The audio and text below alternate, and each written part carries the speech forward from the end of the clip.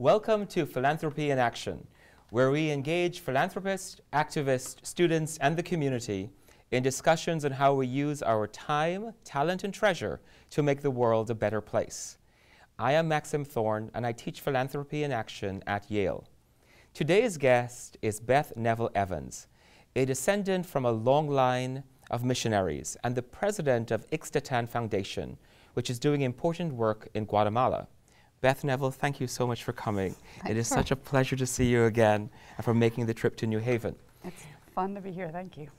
We also have with us students from Yale University who who I'll ask to introduce themselves, starting with Sesson. Hi, my name is Cecil Hideko, and um, I am from Los Angeles in JE College. Carl. Hi, I'm Carl Shen. Uh, I'm also from outside Los Angeles, and I'm a junior. My name is Marius Valeris, and I'm from Newark, Delaware. My name is Christina Lee, and I'm from San Jose, California. My name is Soham Sagai. I'm from Denver, Colorado. My name is Ellen Bankston. I'm a sophomore from Richland, Washington.